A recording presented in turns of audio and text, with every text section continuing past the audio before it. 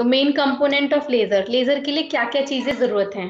तो लेजर के लिए बेसिकली थ्री कंपोनेंट ज़रूरी है। पहला एक्टिव मीडियम जिसके अंदर हमें लेजिंग एक्शन कराना है, वो मीडियम चाहे वो सॉलिड स्टेट फॉर्म में हो, चाहे लिक्विड फॉर्म में हो, या फिर गैस फॉर्म में हो।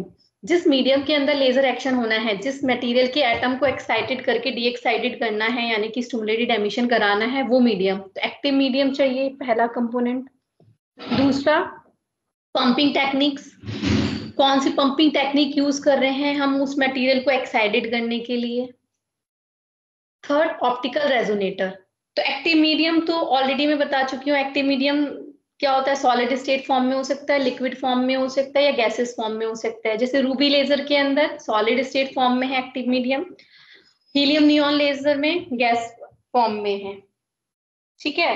तो क्या है कि ऑलरेडी एक्टिव मीडियम हमें नोन है। जैसे रूबी लेजर के लिए हमारा एल्यूमिनियम ऑक्साइड और क्रोमियम ऑक्साइड का जो मिक्सचर है रूबी क्रिस्टल वो हमारा एक्टिव मीडियम है। हीलियम नियॉन के अंदर हीलियम नियॉन दोनों एक्टिव मीडियम हो गए हमारे, जिसके एटम्स को हमें एक्साइटेड करके स्टूमुलेटेड एमिशन लेना है।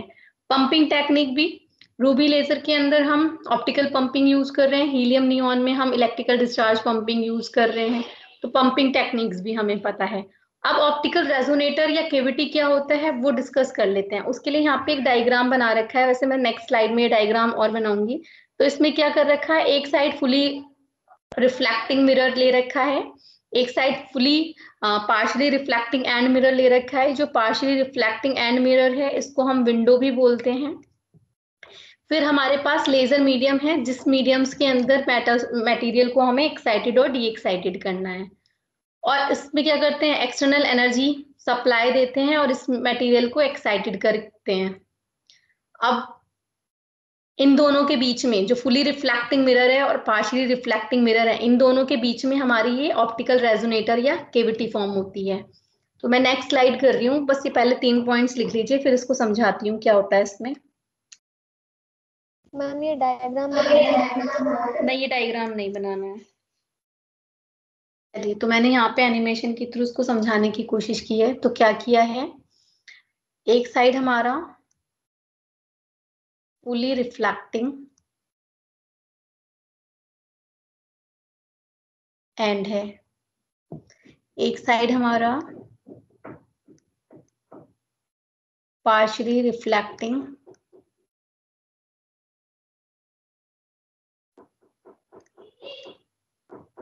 एंड है।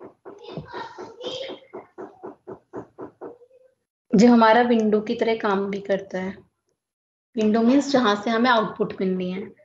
ठीक है, फ़िलहाल यहाँ पे मैंने रेजोनेटर समझाने के लिए गैस लेजर यूज़ किया, ये सॉलिड स्टेट के लिए भी है। इसको आप सॉल ये भी मान सकते हो, यहाँ बीच में ट्यूब है। ठीक है, लेकिन अभी क्योंकि ये जो डायग्राम है, मैंने हीलियम नियॉन वाला बना रखा है, ये गैस लेजर के लिए बना रखा है। ठीक है, सबके लिए ये सेम ही एप्लीकेबल है। रेजोनेटर कैविटी ऐसे ही बनती है। एक साइड को हम फुली रिफ्लेक्टिंग एंड बनाते हैं, एक को पार्शली रिफ्लेक्टिंग एंड बनाते हैं। ठीक है, यहाँ से हमने इलेक्ट्रॉन्स फ्लो कराया गैस के अंदर। यहाँ पे गैस है। अभी फ़िलहाल हम किसी गैस की बात नहीं कर रहे, कोई सी भी गैस है। ठीक है, अब गैस नॉर्मल स्टेट में है। जहाँ से हमने जब इलेक्ट्रॉन फ्लो कराया तो इलेक्ट्रॉन क्या होगा? एनर्जी होगी इसमें। ये अपनी एनर्जी गैस एटम को ट्रांसफ़र कर देगा, उससे कोलाइड करेगा। गैस एटम एक्साइटेड स्टेट में जाएगा और फिर कुछ टाइम बाद वापस आएगा। जब वापस आएगा तो एक फोटोन एमिट करेगा। ये फोटोन पार्शियली रिफ्लेक्टिंग एंड की साइड जाएगा। जब इस साइड जाएगा तो एंड से रिफ्लेक्ट बैक होके वापस इस मीडियम में आएगा।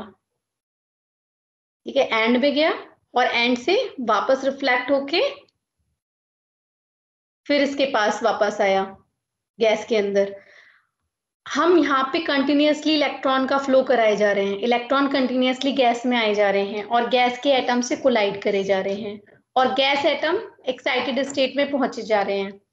हो सकता है इसकी जो ये एक्साइटेड स्टेट हो, ये मैटर स्टेबल स्टेट हो। अभी हम बीच के लेवल्स की बात नहीं कर रहे वो जब हम गैस लेजर और रूबी लेजर पढ़ेंगे, तब डिटेल में पढ़ेंगे। फ़िलहाल ये मान लेते हैं कि हमारा ये एक्साइटेड लेवल जो है मेटा स्टेबल स्टेट है, इसका लाइफ टाइम ज़्यादा है।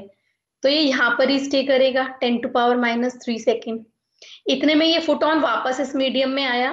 तो जो एटम इस स्टेट में था, यहाँ पे बना देते हैं। ई टू स्टेट में जो एटम था, उससे इंट्रैक्ट करेगा और उसको स्टमुलेट करेगा कि वो हायर एनर्जी स्टेट से लोअर एनर्जी स्टेट में आए। तो फोटोन एमिट करेंगे अब दोनों इस डायरेक्शन में मूव करेंगे। अब क्या करेंगे? जब मूव करेंगे तो अब ये फुली रिफ्लेक्टिंग एंड की साइड आ गए। फिर वहाँ से रिफ्लेक्ट बैक होके फिर से इस गैस मीडियम में आ जाएँगे। जो भी एटम इन्हें ई टू स्टेट में मिलेगा, उनसे इंट्रैक्ट करेंगे और उनको स्टमुलेट करेंगे कि वो ई टू स्टेट से इवन स्टेट में आए और फोटोन एमिट करें। ऐसे क्या होगा? जो फोटॉन्स हैं वो मल्टीप्लाई होते रहेंगे बढ़ते रहेंगे। After multiple reflection from fully reflecting end plate and partially reflecting end plate we get intense highly amplified beam of photons तो क्या होगा? हमें बीम मिल जाएगी लेजर आउटपुट और जब जैसे ये इंटेंसली हो जाएँगे, हमें पार्शली रिफ्लेक्टिंग एंड से आउटपुट मिल जाएगी. एक बार फिर सुनिए, दोबारा से मैंने क्या बताया? मैं यहाँ पे फिर क्लियर कर रही हूँ कुछ चीज़ें. माइक ऑफ़ करिए जिसका भी माइक ऑन है। अंशुल माइक ऑफ़ रखिए अपना।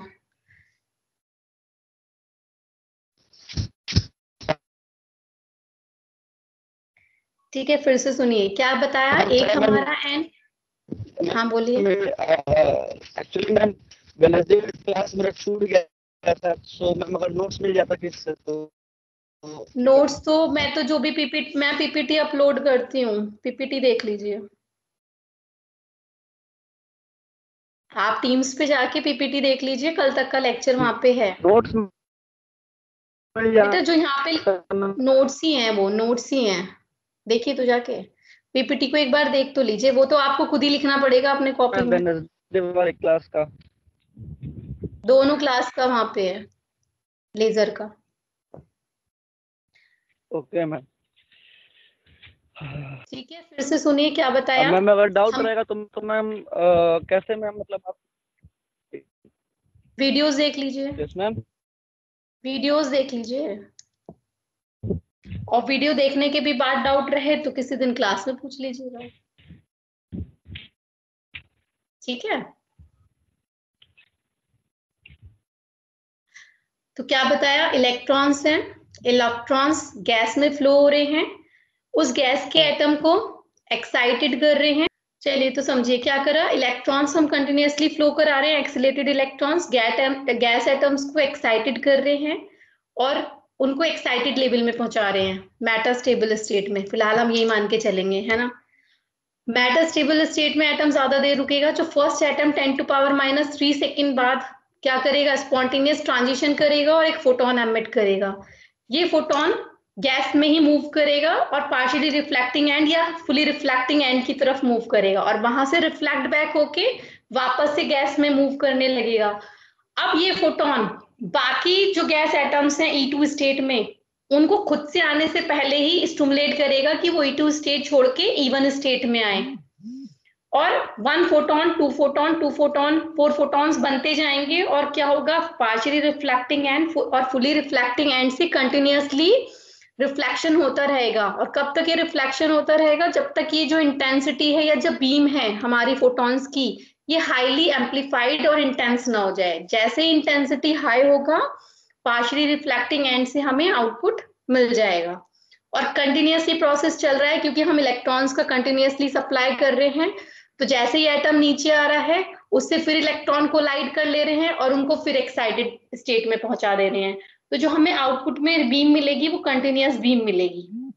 कंटिन्यूसली सप्लाई हो रहा है इलेक्ट्रॉन्स का कोलाइड हो रहा है, वो एक्साइटेड हो जा रहे हैं, फिर डी एक्साइटेड हो रहे हैं।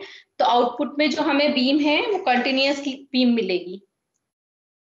ये हमारा देखा जाए तो वर्किंग है हीलियम नियॉन लेजर का भी। यहाँ से हीलियम नियॉन लेजर भी काफ़ी हद तक क्लियर हो जाता है। बस काफ़ी हद तक कह सकते हैं क्योंकि यहाँ पे अभी अभी वन गैस एटम से समझाया है मैंने।